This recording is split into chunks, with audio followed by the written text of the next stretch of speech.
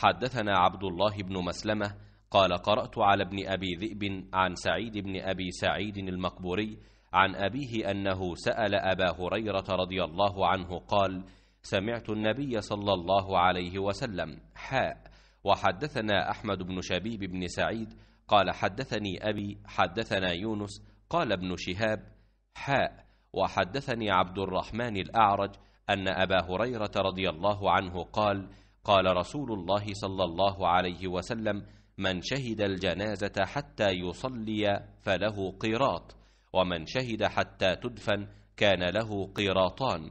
قيل وما القيراطان؟ قال مثل الجبلين العظيمين.